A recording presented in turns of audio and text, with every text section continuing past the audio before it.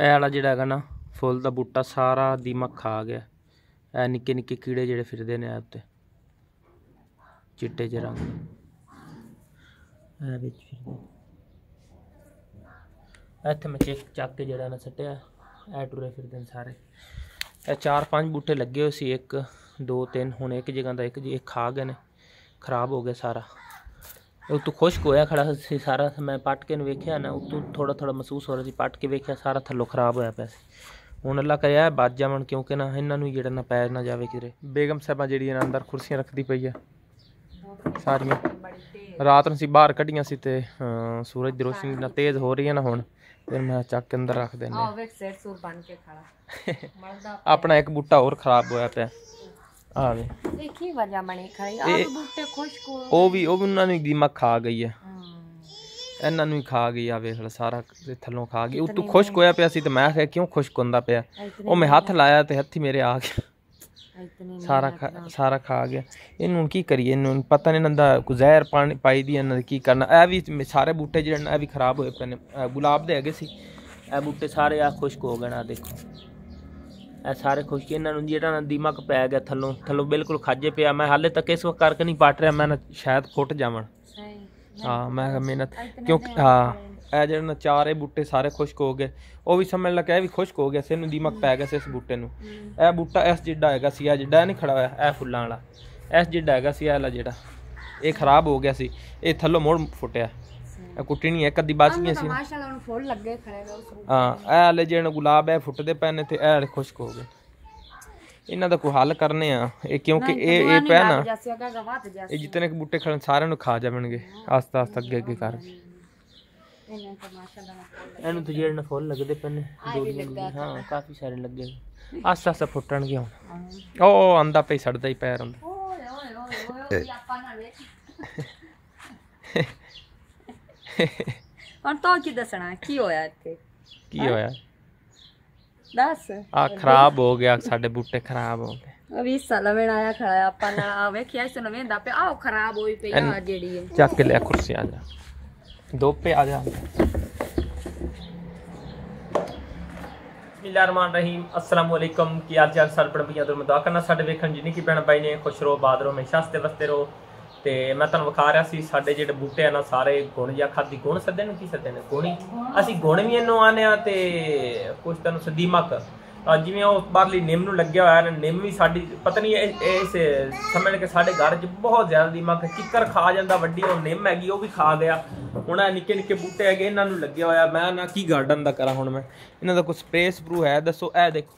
ਇਹ ਸਾਰਾ ਨਿੰਮ ਵੱਡੀ ਇਹਨਾਂ ਤੇ ਇਹਨੂੰ ਵੀ ਸਾਰਾ ਲੱਗਿਆ ਹੋਇਆ ਦੀਮਕ। ਮੈਂ ਇੱਟਾ ਤਾਂ ਨਹੀਂ ਪਹੁੰਚਿਆ ਖਾਲਤਾ ਤੱਕ ਸਿਰ ਇਹ ਜਿਹੜਾ ਨਾ ਸਾਰਾ ਖਾਂਦਾ ਪਿਆ ਵੀ ਇਸ ਨੂੰ ਜਿਹੜਾ ਲੱਗਿਆ ਖੜਾ ਸਾਰਾ।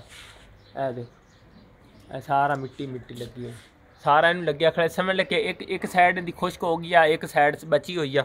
ਔਰ ਥੱਲੇ ਵਾਲੀ ਸਾਈਡ ਤੋਂ ਜਿਹੜਾ ਨਾ ਇਹਦੇ ਇਹ ਥੱਲੇ ਵਾਲੀ ਸਾਈਡ ਤੋਂ ਸਾਰਾ ਖਾ ਗਿਆ। ਸਾਰਾ ਇੱਕ ਸਾਈਡ ਖਾ ਗਿਆ ਇੱਕ ਸਾਈਡ ਬਚੀ ਹੋਈ ਹੈ ਬਸ। ਗਾਰਡਨ ਜਿਹੜਾ ਹੈਗਾ ਮੈਂ ਇਤਨੀ ਮਿਹਨਤ ਨਾਲ ਬਣਾਇਆ ਨਾ ਤੇ ਸਾਰੇ ਬੂਟੇ ਲਾਏ ਨੇ ਹੁਣ ਆਸਤਾ ਆਸਤਾ ਉਹਨਾਂ ਨੂੰ ਲੱਗਿਆ ਹੋਇਆ। ਸਮਝ ਲਾ ਕਿ ਮੇਰੇ ਤਕਰੀਬਨ 5 7 8 ਬੂਟੇ ਜਿਹੜੇ ਆ ਨਾ ਉਹ ਖਰਾਬ ਕਰਕੇ ਖਾ ਪੀ ਗਏ ਨੇ ਹੁਣ ਤੱਕ। ਕਿਉਂਕਿ ਮੈਨੂੰ ਤਾਂ ਪਤਾ ਨਹੀਂ ਆ ਕਿ ਕਿਸੇ ਭੈਣ ਭਾਈ ਨੂੰ ਪਤਾ ਹੈ ਇਹਦਾ ਕੋਈ ਸਪਰੇਅ ਦਵਾਈ ਕੁਛ ਹੈ ਤਾਂ ਦੱਸੋ ਇਹਨੂੰ ਪਾਵੀਏ ਤਾਂ ਕਿ ਜਿਹੜਾ ਨਾ ਮੇਰਾ ਗਾਰਡਨ ਤਾਂ ਕਮ ਸੇ ਕਮ ਬਚ ਜਾਵੇ।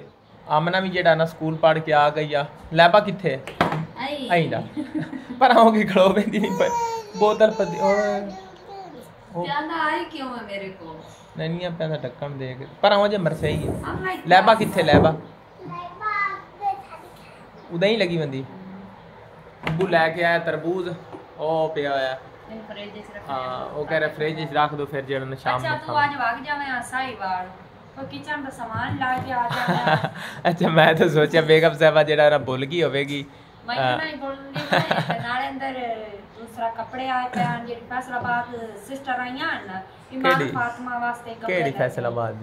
ਅੱਜ ਸਰ ਆਪਾਂ ਘਰ ਕੋਈ ਅੱਛਾ ਉਹ ਤਾਂ ਕਾਫੀ ਦਿਨ ਹੁੰਦੇ ਪਏ ਨੇ ਹਾਂ, ਤੇ ਉਹ ਲੈ ਕੇ ਆਏ ਹਨ ਉਹਦੇ ਸ- ਦੁਆ ਛੋਟੀ ਬੇਟੀ ਵਾਸਤੇ ਕੱਪੜੇ ਕਹਿੰਦੀ ਇਨਾ ਸਿਸਟਰ ਨਹੀਂ ਹੈ। ਹਾਂ।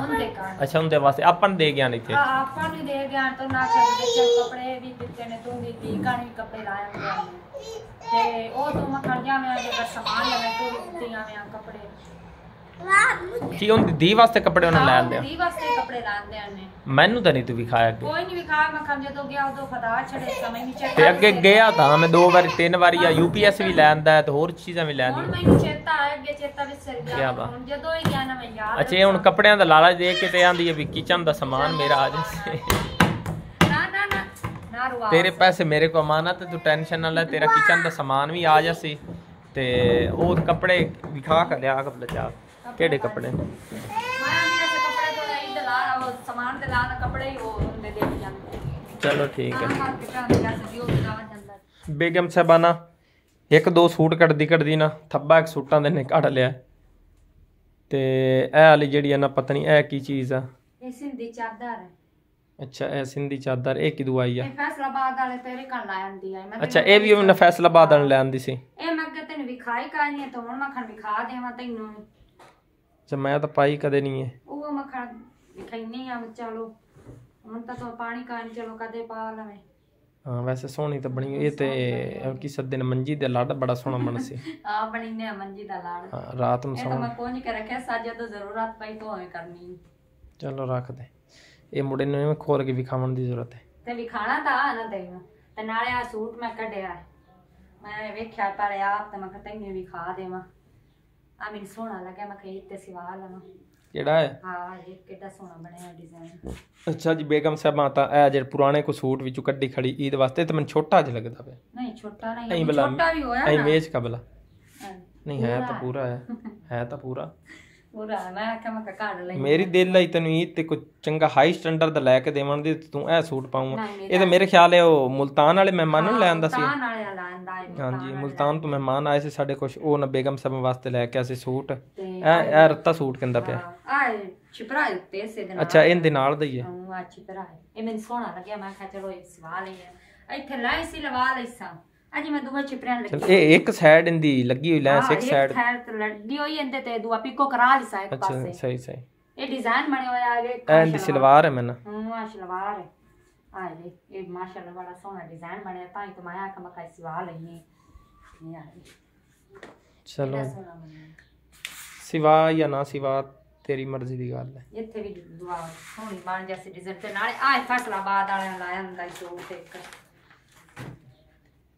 ਅੱਛਾ ਆ ਇਹਦੇ ਨਾਲ ਦੀ ਸਲਵਾਰ ਹੈ ਤੇ ਅੱਛਾ ਫੈਸਲਾਬਾਦ ਵਾਲੇ ਮਹਿਮਾਨ ਲੈ ਕੇ ਆਏ ਸੀ ਬੱਚਿਆਂ ਦੇ ਕੱਪੜੇ ਤਾਂ ਮੈਂ ਵੇਖਣ ਨਾ ਹਾਂ ਆ ਇਮਾਨ ਫਾਤਮਾ ਕਾਣੀ ਆਮਨਾ ਕਾਣ ਵੀ ਲੈ ਕੇ ਆਇਆ ਸੀ ਸੂਟ। ਲੈਬਾ ਕਾਣੀ ਵੀ ਲੈ ਕੇ ਆਇਆ ਸੀ ਤੇ ਉਹਨਾਂ ਤਾਂ ਪਾਪ ਹੀ ਲਿਆ ਸਾਰੇ ਉਹ ਸਮਝ ਲੈ ਕੇ ਹੰਡਾ ਵੀ ਆਖਿਆ ਤੇ ਇਹ ਬੇਗਮ ਸਾਹਿਬਾ ਦਾ ਉਵੇਂ ਹਾਲੇ ਤੱਕ ਬੰਦ ਪਿਆ ਇਹਨੇ ਮੈਨੂੰ ਵਿਖਾਇਆ ਹੀ ਕੋਈ ਨਹੀਂ ਹੁਣ ਮੈਨੂੰ ਦਿਖਾ ਰਹੀ ਆ ਸਮਝ ਲਓ। ਮੈਂ ਕੱਢਣੇ ਤਰਬੂ ਸੂਟ ਹੈ ਮੈਂ ਕੱਢ ਕੇ ਵੀ ਖਾਈਨੀ ਆ ਚਾ ਸੂਟ ਆਈ ਉਹਨਾਂ ਲੈਂਦੀ ਦੀ ਚੁੰਨੀ ਬੜੀ ਸੋਹਣੀ ਇਹ ਸਵਾਣੀਆਂ ਦਾ ਆਪਸ ਵਿੱਚ ਕੰਪਰੋਮਾਈਜ਼ ਹੋਇਆ ਸੀ। ਉਹ ਇਹਨੂੰ ਚੁੱਪ ਕਰਕੇ ਦੇਖ ਕੇ ਚਲੇ ਗਏ ਮੈਨੂੰ ਪਤਾ ਹੁੰਦਾ ਤਾਂ ਫਿਰ ਨਾ ਵੀਡੀਓ ਬਣਾਣੀ ਸੀ ਇਹਨਾਂ ਕੱਪੜਿਆਂ ਦੀ ਬੇਗਮ ਸਾਹਿਬਾਂ ਦੇ ਜਿਹੜੇ ਕੱਪੜੇ ਨਹੀਂ ਸੋਹਣਾ ਕੱਪੜਾ ਇਹ ਛਿਪਰਾ? ਇਹ ਦੁਪੱਟਾ ਹੈ ਤੇ ਬਰੀਕ ਬੜਾ ਬਣਿਆ ਹੋਇਆ ਤੂੰ ਦੁਪੱਟਾ। ਅੱਛਾ ਬੜਾ ਸੋਹਣਾ ਬਣਿਆ ਹੋਇਆ ਦੁਪੱਟਾ। ਅਸੀਂ ਛਿਪਰਾ ਵੀ ਕਹਿ ਦਿੰਦੇ ਆ ਦੁਪੱਟਾ ਵੀ ਕਹਿ ਦਿੰਦੇ ਹੁੰਦੇ ਆ ਤਾਂ ਇਹਦੇ ਨਾਲ ਦੀ ਕਮੀਜ਼ ਹੈ। ਅੱਛਾ ਇਹ ਕਮੀਜ਼ ਆ। ਕਮੀਜ਼ ਹੈ।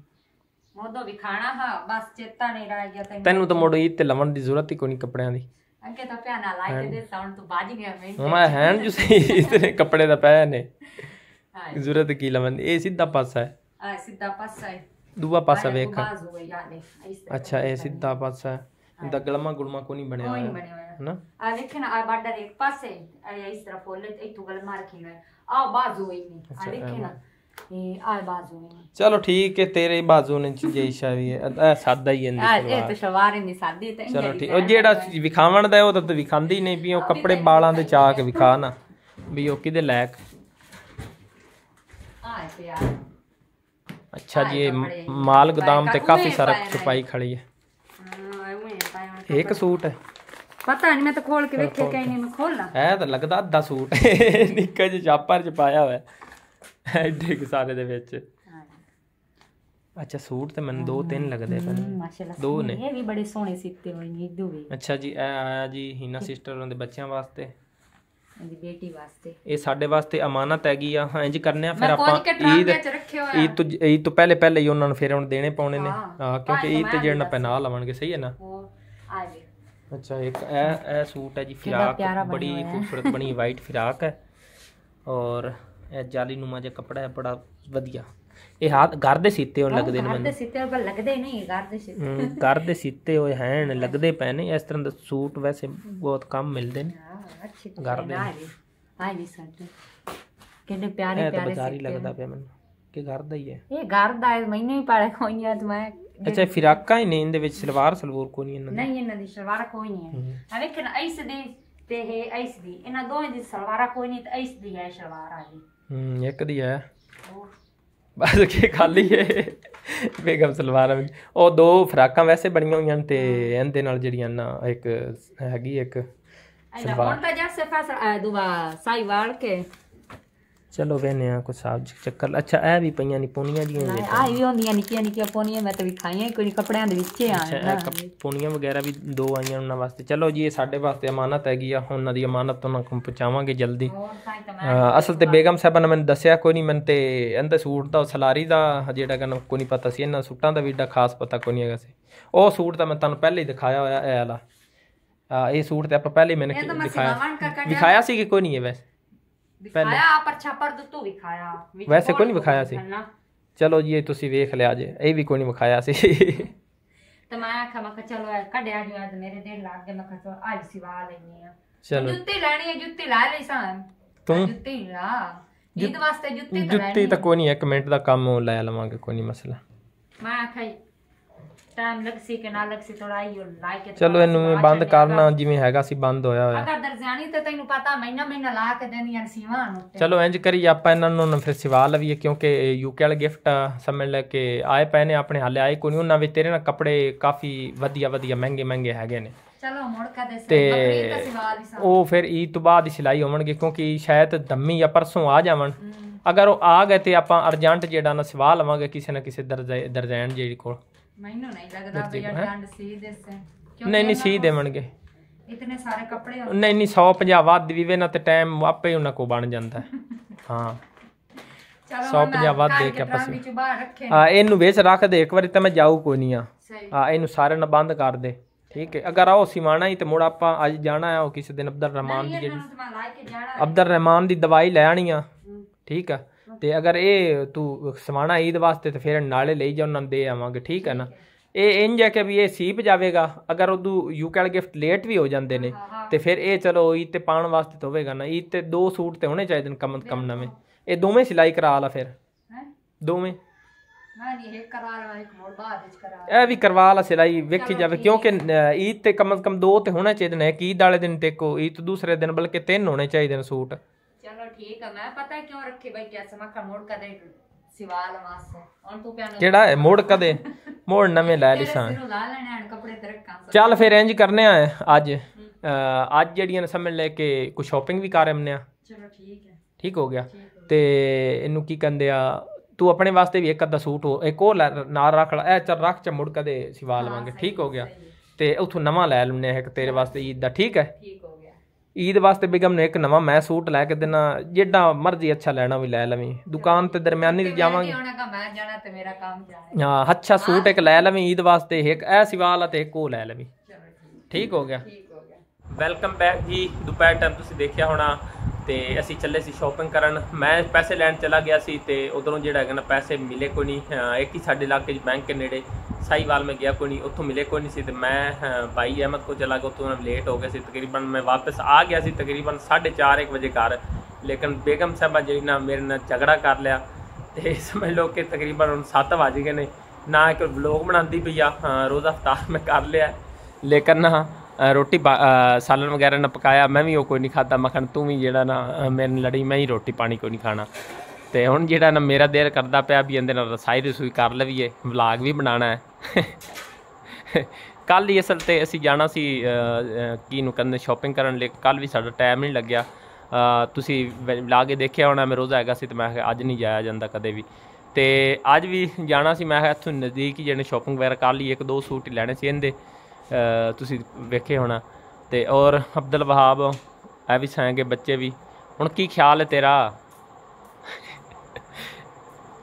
ਤੂੰ ਤਾਂ ਪੱਕਾ ਪੱਕਾ ਲੜੀ ਖੜੀ ਹੈ।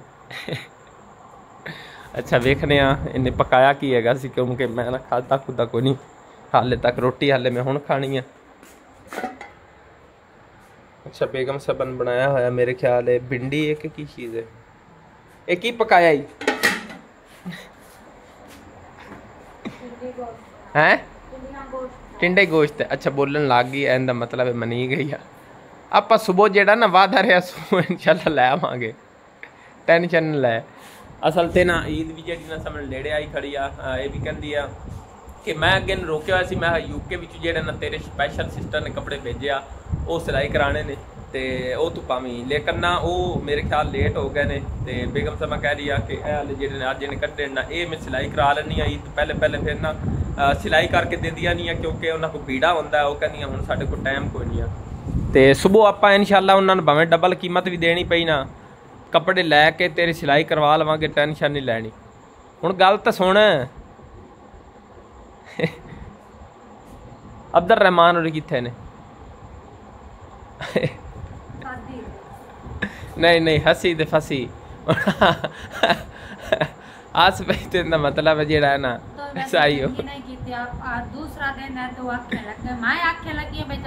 ਚੱਲ ਉਹਦੇ ਨਾਲ ਤੈਨੂੰ ਚਲੋ ਉਹਦੇ ਨਾਲ ਤੇਰਾ ਠੀਕ ਹੈ ਉਹ ਤੇ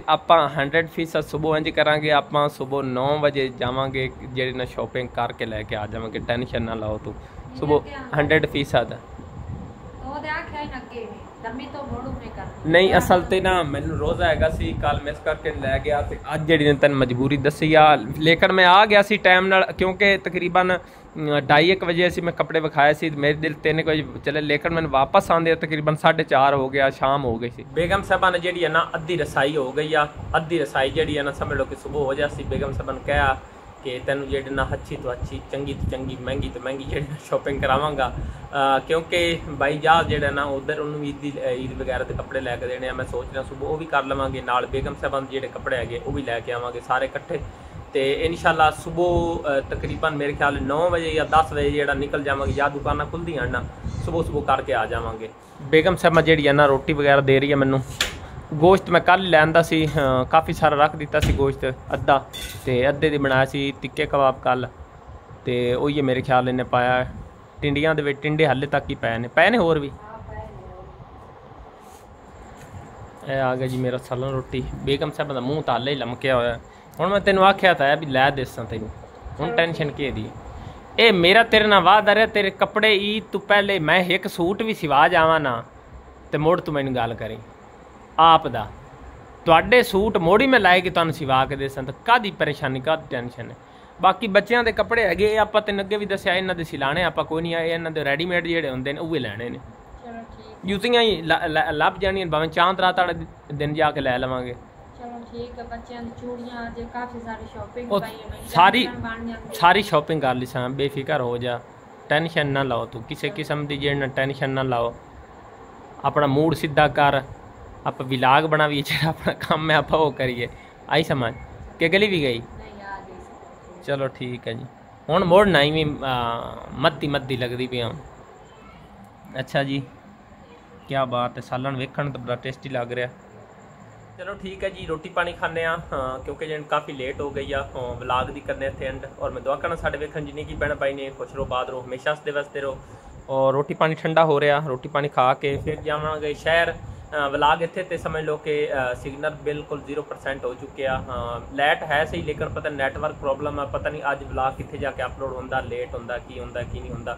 ਪਤਾ ਨਹੀਂ ਕਿਸ ਟਾਈਮ ਤੁਸੀਂ ਸਾਨੂੰ ਦੇਖ ਰਹੇ ਹੋਗੇ ਇਹ ਕੋਈ ਪਤਾ ਸੁਰ ਨਹੀਂ ਆ। ਲੇਕਿਨ ਬੇਗਮ ਸਾਹਿਬਾ ਜਿਹੜੀ ਹੈ ਨਾ, ਹਾਂ, ਬਿਲਕੁਲ ਫੁੱਲ ਨਾਰਾਜ਼ ਹੋਈ ਖੜੀ, ਹੁਣ ਫਿਰ ਅੱਗੇ ਤੁਹਾਨੂੰ ਵਿਖਾਉਣ ਵਾਸਤੇ ਜਿਹੜਾ ਨਾ ਥੋੜਾ ਬਹੁਤਾ ਮਨੀ ਗਈ ਆ, ਤੇ ਹੁਣ ਫਿਰ ਜਿਹੜਾ ਨਾਰਾਜ਼ ਹੋਈ ਬੈਠੀ ਆ। ਤੇ ਇੱਕ ਹੋਰ ਮੈਂ ਗੱਲ ਕਰਨਾ ਬੜੀ ਟੈਨਸ਼ਨ ਹੈ ਗਾਰਡਨ ਦੀ ਵੀ ਕਾਫੀ ਸਾਰੀ, ਬੇਗਮ ਦੀ ਸ਼ਾਪਿੰਗ ਨਾਲੋਂ ਜ਼ਿਆਦਾ ਹੁੰਦੀ ਮੈਨੂੰ ਟੈਨਸ਼ਨ ਹੈ। ਕਿਉਂਕਿ ਜਿਹੜਾ ਨਾ, ਸਮਝ ਲਓ ਕਿ ਸ਼ਾਪਿੰਗ ਤਾਂ ਕਿਸੇ ਟਾਈਮ ਕਰ ਸਕਣਾ ਲੇਕਿਨ ਗਾਰਡਨ ਦੇ ਜਿਹੜਾ ਨਾ ਬੜਾ ਮਸਲਾ ਬਣਿਆ ਖੜਾ, ਸਾਰੇ ਜਿੰਨੇ ਬੂਟੇ ਲਾਏ ਸੀ ਨੇ, ਸਾਰੇ ਖਰਾਬ ਹੋ ਰਹੇ ਨੇ। ਉਹਨਾਂ ਦੇ ਥੱਲੋਂ ਨਾ ਮੁੱਢ ਜਿਹੜਾ ਉਹਨਾਂ ਨੂੰ ਕੀੜੇ ਖਾਏ ਜਾਂਦੇ ਨੇ ਸਾਰੇ ਉਹ, ਤੁਹਾਨੂੰ ਅੱਗੇ ਵੀ ਜੀ ਪਈ ਹੋਈ ਆ। ਉਹਦਾ ਕੋਈ ਇਲਾਜ ਜਾਂ ਕੋਈ ਹੱਲ ਹੈ? ਜਾਂ ਕੋਈ ਕਿਸੇ ਭੈਣ ਭਾਈ ਨੂੰ ਦਵਾਈ ਦਾ ਪਤਾ ਹੈ ਤਾਂ ਮੈਨੂੰ ਦੱਸੋ, ਉਹਨੂੰ ਪਾਵੀਏ, ਅਹ, ਤਾਂ ਕਿ ਮੇਰਾ ਗਾਰਡਨ ਦੁਬਾਰਾ ਫਿਰ ਹਰਾ ਭਰਾ ਹੋਵੇ, ਕਿਉਂਕਿ ਕਾਫੀ ਸਾਰੇ ਬੂਟੇ ਜਿਹੜਾ ਖੁਸ਼ਕ ਹੋ ਯਾਰ ਨਿੱਕ ਕੇ ਕਰਕੇ ਪਹਿਲੇ ਪਰਲੀ ਸਾਈਡ ਤੇ ਤਿੰਨ ਚਾਰ ਹੋਏ ਸੀ, ਮੈਂ ਕਿਹਾ ਸ਼ਾਇਦ ਤੇ ਸਾਈਡ ਤੇ ਜਿਹੜਾ ਨਾ ਕੋਈ ਥੱਲੋਂ ਜ਼ਮੀਨ ਨੂੰ ਮਸਲਾ ਹੋਵੇ ਜਾਂ ਮੇਰੇ ਕੋਲ ਖਾਦ ਜ਼ਿਆਦਾ ਪੈ ਗਈ ਹੋਵੇ, ਲੇਕਿਨ ਨਹੀਂ। ਫਿਰ ਜਦੋਂ ਅੱਜ ਮੈਂ ਪੱਟ ਕੇ ਵੇਖਿਆ ਨਾ ਬੂਟਾ ਤੇ ਕੀੜੇ ਹੀ ਕੀੜੇ ਤੇ ਸਾਰਾ ਖਾਜੇ ਹੋਇਆ ਸੀ, ਫਿਰ ਮੈਨੂੰ ਪਤਾ ਲੱਗਿਆ ਵੀ ਆਹ ਮਸਲਾ ਹੈਗਾ। ਹੁਣ ਪਰਲੇ ਬੂਟੇ ਹੈਗੇ, ਗੁਲਾਬ ਦੇ, ਉਹ ਵੀ ਮੈਂ ਪੱਟ ਕੇ ਨਾ ਉਹਨਾਂ ਨੇ ਵੇਖਾਂਗਾ ਵੀ ਉਹਨਾਂ ਨੂੰ ਥੱਲੋਂ ਖਾਜ ਗਿਆ, ਕੀ ਚੱਕਰ ਹੈ, ਕੀ ਨਹੀਂ ਆ। ਤੇ ਬਾਕੀ ਇਨਸ਼ਾਅੱਲਾ ਕੱਲ ਮੁਲਾਕਾਤ ਹੋਵੇਗੀ ਸਾਡੇ ਦੋ ਮੀਆਂ ਵੀ ਦੇ ਰਸਾਈ ਦੇ ਨਾਲ ਤੇ ਉਮੀਦ ਹੈ ਸਾਰਾ ਅਸੀਂ ਜਿਹੜਾ ਸਵੇਰ ਤੱਕ ਸੈੱਟ ਹੋ ਜਾਵਾਂਗੇ। ਤੇ ਇਜਾਜ਼ਤ, ਖੁਦਾ ਹਾਫਿਜ਼, ਅੱਲਾ ਨਿਗਹਿਬਾਨ ਅੱਛਾ, ਮੈਂ ਇੱਕ ਹੋਰ ਗੱਲ ਕਰਨੀ ਸੀ, ਕਾਫੀ ਸਾਰੀ ਭੈਣਾਂ ਮੇਰੇ ਤੋਂ ਗੁੱਸਾ ਵੀ ਹੋ ਜਾਵਣਗੀਆਂ, ਲੇਕਿਨ ਨਾ ਇੱਕ ਹੋਰ ਮੈਂ ਤੁਹਾਨੂੰ ਗੱਲ ਦੱਸਣਾ। ਬੇਗਮ ਸਾਹਿਬਾ ਨੂੰ ਉਹਦੀ ਮਰਜ਼ੀ ਦਾ ਸੂਟ ਲੈ ਕੇ ਦੇਵਾਂਗਾ ਸਵੇਰ ਅੱਛੀ ਜੀ ਸ਼ਾਪਿੰਗ ਕਰਾਵਾਂਗਾ, ਕਿਸੇ ਨੇ ਮੈਨੂੰ ਕੋਈ ਬੈਡ ਕਮੈਂਟ ਨਹੀਂ ਕਰਨਾ, ਮਿਹਰਬਾਨੀ ਤੁਹਾਡੀ, ਕਿਉਂਕਿ ਮੈਨੂੰ ਪਤਾ ਹੈ ਮੇਰੇ ਨਾਲ ਜੇ ਝਾੜ ਫੂਕ ਹੋਣ ਵਾਲੀ ਆ ਅੱਜ।